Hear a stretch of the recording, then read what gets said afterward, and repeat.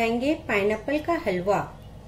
इसके लिए हमने एक ग्लास पाइनएप्पल का जूस ले लिया है, जिसे हमने फ्रेश पाइनएप्पल को काट के पीस के छान के निकाल लिया है। इस तरह से। और ये तीन चार कापी पाइनएप्पल की इस तरह से बारीक बारीक काट लिया है। ये एक कप से थोड़ा कम सूजी ले लिया है। कढ़ाई में एक टेबलस्पून घी डाल दिया है। अब ये सूजी डाल देंगे और इसे भुनेंगे। घी अगर कम लगे तो थोड़ा और डाल लेंगे। ये देखिए इसे। घी इतना डालें कि सूजी कुछ इस तरह से सीखे। ये देखिए। इसे धीमी आँच पे सेके। पाइनएप्पल का सीज़न स्टार्ट हुआ है। तो फिर हम पाइनएप्पल से बिल्कुल नया पाइनएप्पल का हलवा बनाएँगे। मेहमानों को खिलाएँगे घर वाले को खिलाएँगे। बहुत अच्छा लगेगा, सबको बहुत पसंद आएगा। इसे धीमी आँच पे लाल होने तक सेके। ये देखिए इस तरह से।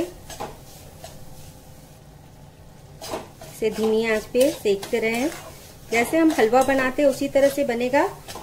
बस पानी की जगह हम पाइनएप्पल जूस का इस्तेमाल करेंगे। इसे हम अच्छी तरह से सेकेंगे। आप चाहे तो आटा भी ले सकते हैं, लेकिन सूजी से इसका टेस्ट ज़्यादा अच्छा आएगा। थ्री फोर्थ कप सूजी लिया था, इसलिए हम आधा कप चीनी ले लेंगे। ऐसे हम बराबर चीनी लेते हैं हलवा में। लेकिन इसमें पाइनएप्पल जूस यूज़ इस्तेमाल कर रहे हैं, इसलिए हम थोड़ा कम चीनी लेंगे। सूजी को हल्का गुलाबी होने तक सेकें। सूजी में से खुशबू आने लग जाएगी, तब तक इसे हम सेकेंगे। सूजी इस तरह से सीख चुकी है, देखिए। इसमें से खुशबू भी आ रहा है, बिल्कुल। अब इसमें ये पाइनएप्पल के पीसेस डाल देंगे। इसे भी थोड़ा सेक लेंगे साथ में। कितना सुंदर कलर आया है इसका। अब इसमें ये पाइनएप्पल जूस डाल देंगे। गैस को धीमी पे ही रहने देंगे। जूस डालते ही इसे, मिक्स करेंगे। अब इसमें डालेंगे चीनी। आधा कप चीनी लिया है। चीनी डाल के इसे मिक्स करें। मीडियम फ्लेम में इसे पकाएँ। गैस को तेज ना करें।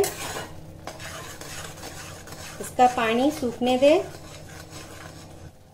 ये इस तरह से हो गया है। ये देखिए, हलवा बिल्कुल रेडी है। गैस को बंद कर दे। अगर आप मीठा ज़्यादा खाते हो तो इसमें थोड़ी चीनी और डाल सकते हैं। नहीं तो ये खट्टा मीठा बहुत ही टेस्टी लगेगा खाने में। पाइनएप्पल ऐसे बहुत मीठा था। अगर पाइनएप्पल ज़्यादा खट्टा हो तो आप इसमें चीनी थोड़ी और डाल दें। अब इसे गर्मा गर्म सर्व करें। पाइनएप्पल का हलवा रेडी है। कटे हुए बादाम और पिस्ते डाल के इसे सर्व करें। ये खाने में बहुत ही स्वाद लगेगा। बनाने में भी आसान है। कुछ अलग लगेगा। पाइनएप्पल के सीज़न में ये बनाएँ और घर पे और मेहमानों को खिलाएँ।